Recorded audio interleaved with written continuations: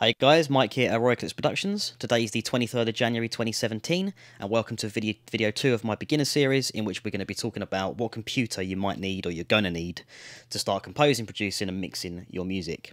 Um, the first thing that I'd kind of be focusing on or thinking about is where do you actually, where would you like to work? You know, some people have got, like myself, I've got a room that I go to. I don't move from that room. If I have to record anybody else, I'll go to a studio or we'll do a remote session, which is more and more popular these days, where you'll send the MIDI or the sheet music and the, the musician will record their part and send it back to you and kind of try to mix it slightly to the guide track that you've done. But that's something completely different. So where do you want to work? You know, do you travel? Um, do you, if you're going to kind of record other, musicians, do you need the ability to move around? You know, can you record at your at your your house or your studio, your garage or wherever you are? Um, you know, do you need a desktop solution or do you need a laptop solution? Now, I, what I would say is that over the last probably kind of five years, things have changed a lot. Um, you can do a lot of this stuff now on a laptop. You couldn't before. You needed some sort of, um, you needed like a high-end workstation um, to work to, and a lot of people were kind of situated in one place and then used laptops to record certain parts. Um, but ultimately, everything went back into their main um, uh, workstation computer to be mixed, mastered, and continued in the composition. So where do you want to work? Where's your creative space? Is a desktop better for you? Is a laptop better for you? um, you're going to need to obviously think about your budget. Now, the first thing I'd say right off the bat here is whether you're going Mac or PC, don't buy cheap. um, there's no point in spending £350 or £400 you know, to be honest, even 600 um, on a computer when you're thinking about music production. Um, you won't get the life out of it moving forward, meaning you're going to have to perhaps buy another computer a year down the line um, it's just a waste of money and a waste of time. Um, I'd be kind of aiming at the a minimum of kind of almost eight fifty a thousand pounds if I'm honest. Um, and um, you'll find a lot of the higher end uh, Windows solutions are up there in price now. Not quite as expensive as Apple, but they're they're getting quite expensive. Um, another thing I point out straight away is this whole Mac PC argument. Um, Five years ago, I would have told you to buy a Mac. Um, nowadays, I think that whether you're buying Mac or you're buying PC, in terms of the performance you get on both systems, I don't, I don't believe there's, there's kind of much in it anymore. Um, essentially, the argument for me used to always be surrounding drivers. Um, Windows use ASIO drivers, which is a Steinberg te technology. Um, Apple have got kind of a, a built-in um, driver called Core Audio. So if I search for audio MIDI here, these are kind of built into the system. There's no additional drivers that I need. That's again, that's kind of changing. Native Instruments have got some drivers that you need for their hardware to work. My Korg nanoKONTROL um, that needed some drivers from Korg, so you know things are changing slightly. But this kind of um, ultimately does control everything that you do. Especially, you know, you can see the Korg nanoKONTROL here. You can see my my workstation. So that's controlling the MIDI side, and then this part is all about the audio interface, which we're going to talk about in a much later video. So, yeah, if you're worried about, well, I need to buy a, um, a Mac because everybody said that, um, I wouldn't be so worried about it. The ASIO drivers now are great, um, and a lot there's a lot of options on Windows as well. Um, personally, I use a Mac.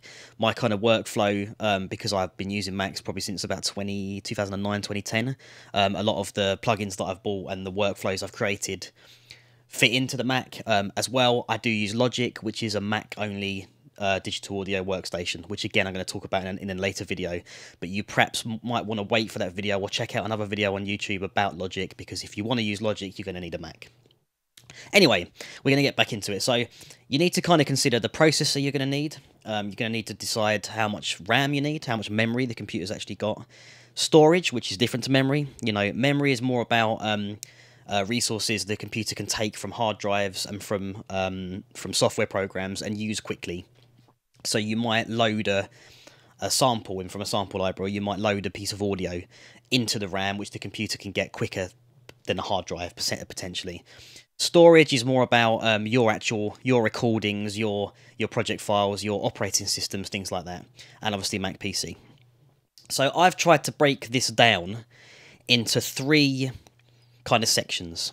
so here we've got our kind of minimum specs, what I'd say you need as a, you know, do not do this basically. Don't go any less than this. So if you're kind of recording instruments, you know, you're not really going to be using, you know, you're, you're a guitarist or a bassist or a drummer, you know, uh, or you're in a band and you want to mix your own, record and remix your own band's music. So you're not really going to be using much in the way of sample libraries. Um, and you're going to be working maybe 15 to 20, maybe 25 tracks. You know, let's put that up to 25 tracks. Um, perhaps you've got some outboard stuff you're going to be looking at, um, some light plugins. Again, guys, if these concepts aren't making sense to you, don't worry about it. We're going to be moving forward in the next videos and explaining all these concepts. So you're looking at going to be you're going to need a dual core processor um, from Intel. Um, I wouldn't bother with AMD personally. There was a time when AMD were doing well, but now it is all about Intel. So you're going to need an i5 minimum uh, running at 2.2 gigahertz. So what that basically means is just that when you're if you're exporting a track once you're or bouncing um, a track as the correct term would be, um, or you're you're recording something, your processor gets involved to kind of you're going to get a lower latency from when you're playing a guitar, say, um, and that's coming into the computer. There are other factors that hit that as well, such as your audio interface. We're going to talk about that in another video. So basically, the kind of the, the, the quicker your your processor is, um, the better that your system's going to deal with what you're recording. So um, yeah, just go into OBS to check it. I haven't completely. Yeah, that's fine. So yeah, you're going to need um, a minimum of of uh, of a of a, of a dual core 2.2 processor, a minimum of 8 gigabytes of RAM. This is to do with how many plugins you could put on a channel. So things like uh, equalization and compression. again, if these are terms that are not that are new to you, we'll explain them. But the more plugins you're going to basically put onto your track to affect the way that that particular track sounds. Um, if you've got only four gigabytes of memory, by the time you've launched your your software that you're going to be using to record and mix your music, and you've put a couple of plugins in, the computer's going to be kind of struggling um, with any more. It's not going to be able to put any more um, effects onto your onto your track. Hard drive. So I talk here about um, SSD versus HDD. So SSD stands for solid state drive. HDD stands for a hard drive. The difference between the two, essentially, if you if you think of um, like a record on a record player. If you wanted to go to track five, you've got to get the needle and line it up to the track and, and hit the hit it down to play that particular track. So it's a manual process that you've got to go and find the data, or in our in our example, that you know the music in the in the vinyl old hard drives HDDs do that so it's optics there's a there's a there's something that moves around this, this spinning disk to find data so it's slower because as your disk becomes fuller um, you know it's going to take more time to find those bits of information. SSDs or solid state drives, there are no moving parts. So you save a file or you record a file, you know, the computer indexes where that file is and then can just open it you know, a whim. So it's kind of 10 if not 15 times faster than a HDD. Me personally, it's don't I wouldn't but even if I wasn't doing music, I would not buy a computer without without a solid state hard drive in it. Just just you need it nowadays. Um, so SSDs you're gonna you're gonna definitely need. Um, there is some talks with HDDs around. Um, obviously, you guys might have heard of the term defragmentation, which is, was a more of a thing that was current on Windows. Um, Apple kind of the way that their that their hard drives are, are formatted, they use a journaling. It's, it's a journaled type of um, of writing to the disk. So the idea behind that is is it, it kind of learns what you use the most, um, and uh, journals it and it puts it onto the disk in a logical way that the operating system can find and read. So you could say that HDDs maybe work a little better on Mac, but then again, Windows Windows 10 now, you know, it is optimized a lot better. So maybe not. but again, that's perhaps an older argument. There is another type of, uh, of, of drive I'm going to write in here, which is called a fusion drive. Now, what a fusion drive is, is if you're on a budget and you can't perhaps afford you know, say you wanted a, a, larger amount of storage, I've put 256 gigabytes here. You may want 512 or a gigabyte. But say you can't afford to, to, to spec up your computer to include a one terabyte solid state drive, which can be very expensive. There is an option known as a fusion drive. So what a fusion drive is, is it's a combination of a HDD and an SSD. So what it tries to do, especially from the Mac point of view, is it puts the operating system um, so OS X, which is what you'll be actually, you know, your your actual um, OS for the for the Mac, will be put onto the Fusion drive. You know, Logic or Cubase or Pro Tools will be put onto that side of the drive. So you might only have 120. You know, if we've got um, one terabyte, which is 1024 gigabytes, you might have 128 gigabytes of solid state, with the remaining being HDD. So it tries to give you that solid state performance while allowing you to have more space and keep the cost down. So yeah, you're definitely going to need. I'd just forget HDD. Let's take it out of the of the equation. Really, I really do think that you need a solid state stroke fusion, um, unless you really don't care about speed and you're just doing very basic, maybe dialogue edits, you could get away with it, but the computer will be slower. So these are your minimum specs. You know, your optimum specs is going to get more expensive. Now we're talking about using a lot more MIDI tracks, using sample libraries, a moderate template. Say for film scoring, you're kind of up there 30 to 60, 65 MIDI tracks. You know, um, recording some instruments, you're mixing your music, you're mastering your music. Now you're going to need still an Intel processor, but I'd say an i7 running at 2.6 gigahertz minimum with 16 gigabytes of RAM. I didn't talk about this either. There's different RAM speeds, so how quick the computer can access this data. Minimum, you're going to need 1600. 1866 is kind of your optimum. Um, so, yeah, at least 16 gigabytes of RAM. This is this is going to be heavy sample use, um, you know, and about 30 to 60 tracks.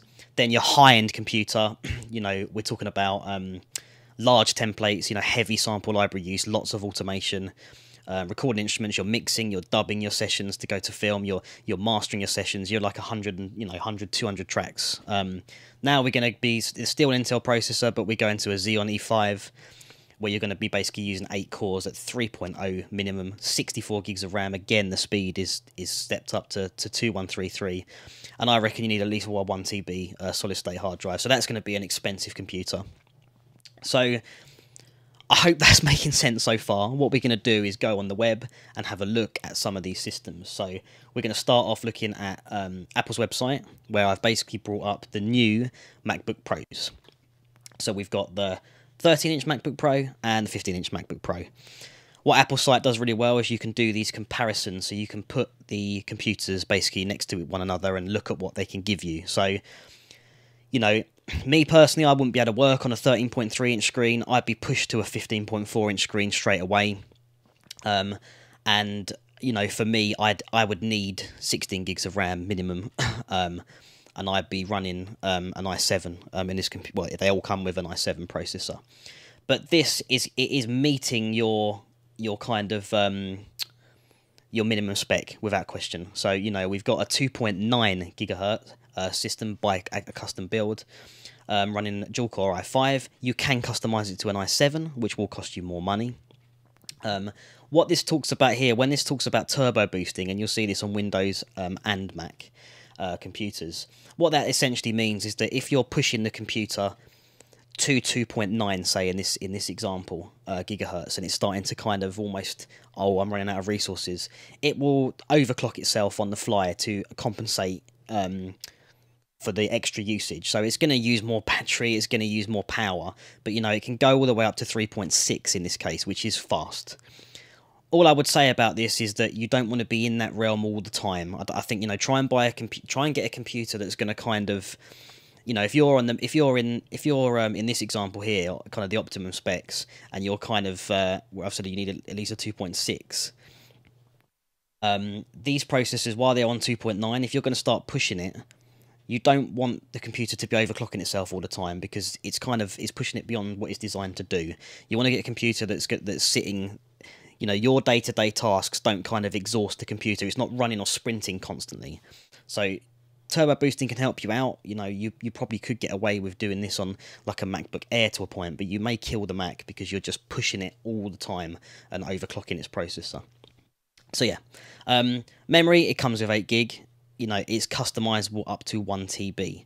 But if you look at, if we go to buy now and we actually go in to look at this system, you'll see the customizations are quite heavy. So if we go to this one here, say, we're going to select this computer and we're going to say, right, so out the box it's a 2.9 dual core i5. We've got 8 gigs of really fast memory because this is, these are the, the brand, these are the latest and greatest from Apple, if you like. You could push push this up to an i7 if you you know like I said where you work in what's your environment. It maybe you want a 13 inch computer, so you can push this. It's gonna it's gonna be really fast.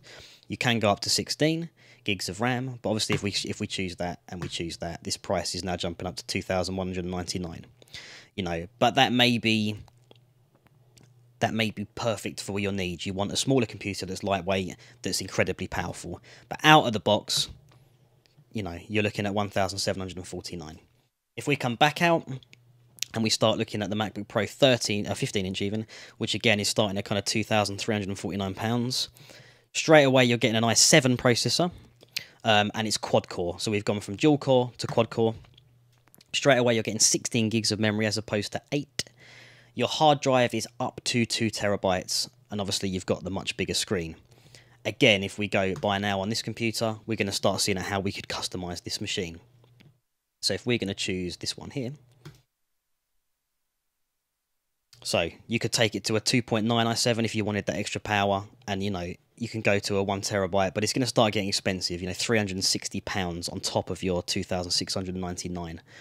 Graphics cards, I wouldn't worry too much about. Um, that's something I probably should have mentioned before. You know, really the built-in graphics cards I think are fine. Um, when it comes to the, I mean these especially as well, you can actually run a whole bunch of of um, screens off of them because they've got the built-in USB-C ports.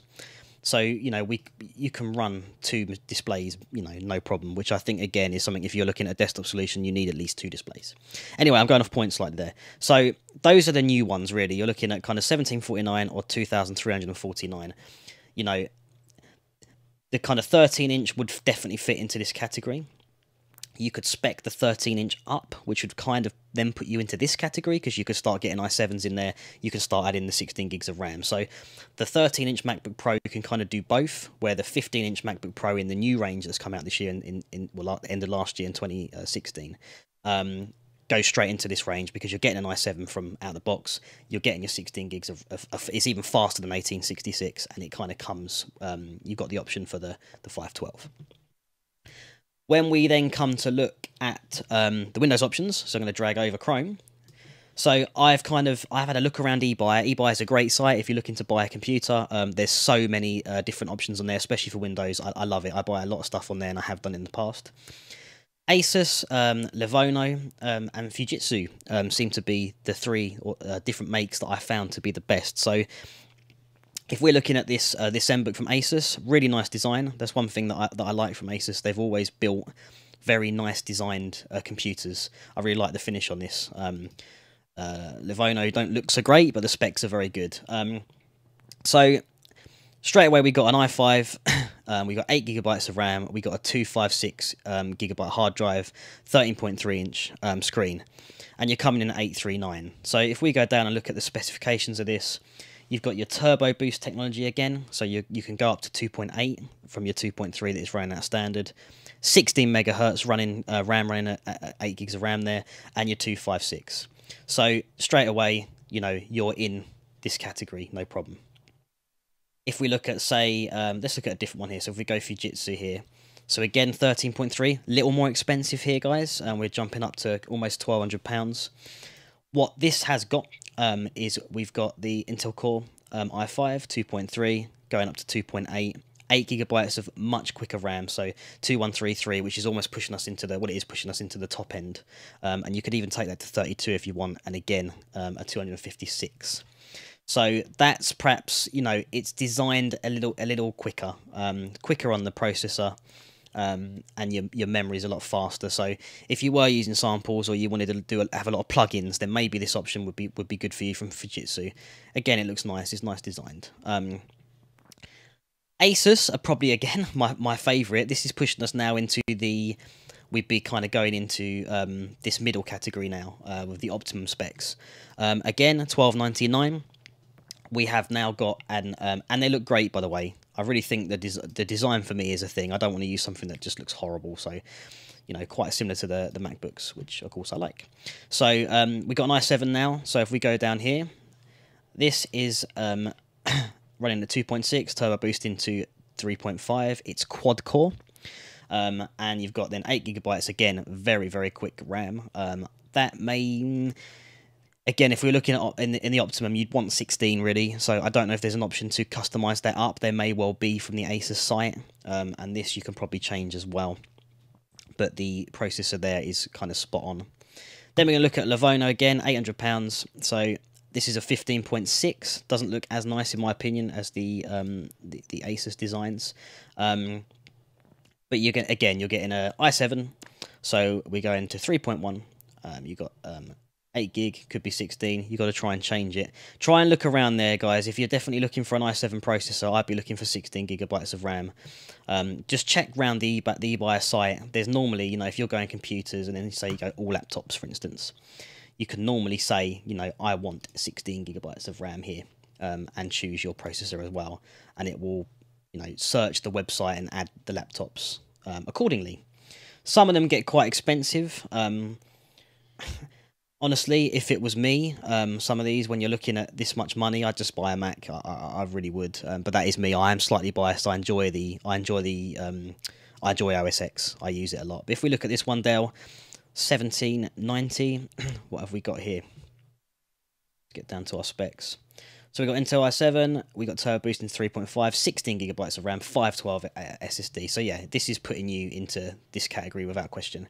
Your optimum specs at about 1790. Um, and again, the machine, yeah, it looks quite nice. It looks quite nice. It's got that same simplistic design that I like. Now we're going to go back and look at the top end ranges, so your high end ranges. So now we're kind of talking about, you know, heavy templates, you know, 100 plus tracks, huge sample libraries and things like that. So massive, mainly film scoring um, and that sort of thing. So the processor types now have kind of moved to um, Xeon E5. So if I go to, this is the Mac Pro, um, the Xeon E5s are kind of, they're designed to almost, um, whereas the i7s are kind of sprinters, the E5s are great at sustained long periods of use. Um, they can handle heavy loads basically. They're, they're, it's, you know, it's a stamina processor. So Apple are designing this, you know, this system here, these get expensive guys. So £3,899 is getting you a 3.56 core processor. Um, you can go to 12 core, but it starts getting crazy in price. 16 gig, no, we need at least 32 when we're talking about a high end. Again, you know, I don't think the graphics card is so important, but you know, you can connect here five, uh, three, sorry, um, 5K displays and six Thunderbolt displays. So, you know, if you wanted three 5K displays, um, you could go for it, or you could do six Thunderbolt displays, which are kind of running at, at 2K. Um, and again, 256 not, not not really good enough. So if we were to actually customize this up to what I would buy, you know, if I was to go and buy my next computer, I'd be selecting this one. And I'd be going to an 8 core. I'd need at least 32, well, at least 32, if anything, I'd go 64. Storage, I want one terabyte. So now we're up at, you know, almost £7,000, which is very, very expensive. If you know someone who's computer savvy, um, you can install your own memory. So if you bought the 16 gig, you can buy memory a lot cheaper. You know, you can probably pick this this this up for about 400 pounds as opposed to a thousand you just got to make sure that it all matches up. And this ECC, where Apple talk about ECC, what that means is that if if there's any corruption in the memory that the computer's found, it, it kind of fixes it instantly. You know, when we when we're talking about these large um, workstation type sessions, you don't need anything going wrong. So it's like it's it's just it's it, you know it's inexcusable for your memory to basically be be um, storing data wrong. So ECC kind of looks at how it's how it's um, how it's storing its its data, finds any corruptions or anything that needs to be deleted or removed or purged, and gets rid of it. Um, so yeah, th they start getting expensive. Um, you know, especially from the the Apple viewpoint. And when when we actually look at the memory here, running at 1866, I'm not very happy with that. I'd rather that be up at the you know we want this this um 2133 you know, um, this is supposed to be 2017 supposed to be a year for Apple desktops. I don't know whether they're gonna um, change the iMacs. Obviously, we've got the 21 and a half inch iMac and the 27. Um, the 21 and a half kind of goes into your beginner's range. The 27 kind of sits or it can sit kind of in the middle of these two. You probably can do the high end stuff, but you'd want you'd want um, you'd want uh, Xeons really, and you'd need 64. The iMacs really 27 inch. They don't really go much higher than 32 gigabytes. Um, yeah, up to 32 gig. Um, so yeah, I, I I'd be kind of. But if you look at that, sorry. So if we go back to that, if we look at the the kind of speeds you can get um, in terms of the memory on the iMacs, is he going to tell me here? No, we probably need to go by. Let's have a look. So we're going to go for, let's go top end on the 27 inch iMac. Looking at the speeds, again 1867 it is is a little behind if you look at the mac pros the macbook pro sorry you know that they are running at that up to that um uh, 2133. So I'm waiting for this to change. Personally, I wouldn't buy this right now because I'm waiting to see what Apple are going to do um, with this, with their desktops. What I'm hoping for is one of these.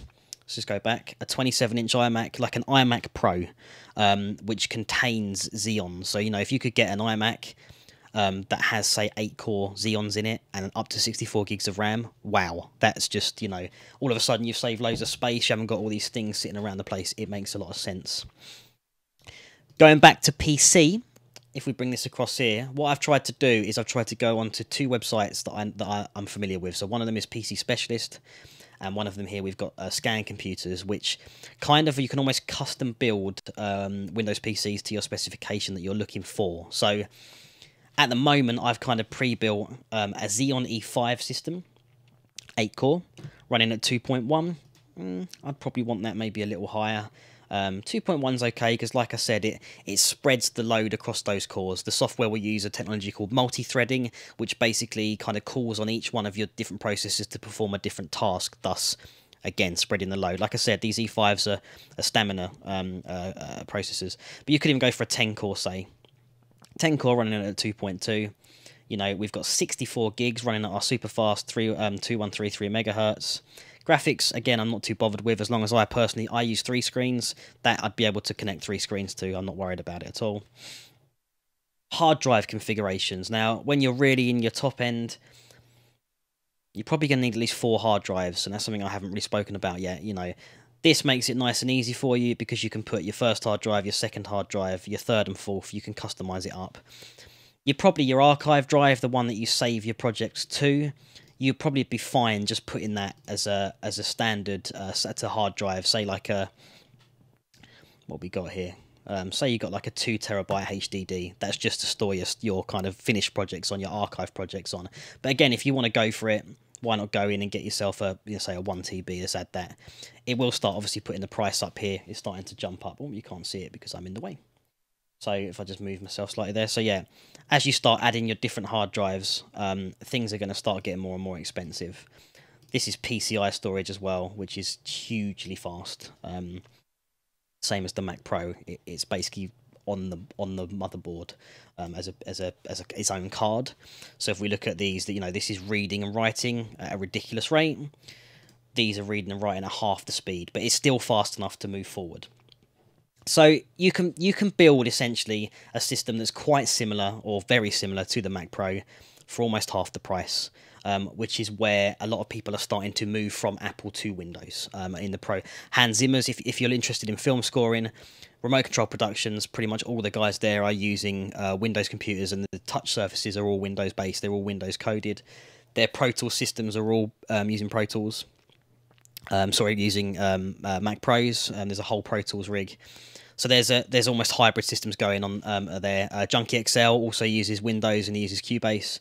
So you know it's it's moving a little bit. I think because of the cost. Um, personally, that's why I think that's happening. Me myself, uh, you know, I'm considering a, a Windows um, option moving forward, just because I can get a, basically the same spec for for kind of half the money. There is an argument over I use Logic, you know, Apple creating the hardware and the software together. There is truth to that. Um, I've experienced it myself. Um, so there, you know, I worked for Apple for two years, and I have, uh, you know, that definitely is a thing. I'm not just saying that. Um, I found that now my Mac Pro is getting a little old. Um, Logic is working a lot better on it than a lot of the other DAWs, which is interesting. Anyway, so then we're going to go over to, and digress in there. Sorry, guys, I do ramble sometimes. So yeah, um, now we're looking at uh, scan computers. I'm going to try and bring this over a little more. They've got kind of four customizations here that we've got for um, audio production, um, going all the way up to kind of two grand at the moment with uh, with Xeons. Again, you can configure them. So say we take um, say we take this one here and we configure the system it then starts giving us options um, in terms of what we want. So I might want to change my CPU, um, and I might actually want to go for uh, two times. So that means we can, you know, say you've got um, 10 cores, you might be able to have five cores on one and five cores on another. You've essentially got two processors with their individual cores on them. Um, changing the RAM, so you might want to go for a 12 core. You can change everything that you want um, and it gives you a different price, very similar to the Apple website. So you can go through and start building this. And again, I mean, if I where are we now? So I've just changed the. What have I got in here? Let's go into here. So let's say, uh, yeah, 64 gig of um, memory, 2133 on speed. That's good. And let's say I change this. Let's go for it. Let's say I want a 12 core system. 10 core, should we say? Yeah. Let's go for it. Let's go all the way up here. I want a 12 core, 3 gigahertz. This is like bad boy. So let's say I want one of them. You know, so that's already costing me an extra £1,500. If we actually add this to the basket now, add it to the basket. Change, change, change. Where's my final price? Yeah, four grand. So literally, pretty much bang on um, fifty percent um, of of the Apple solution. But technically, because the RAM's faster, way more cores, a better system.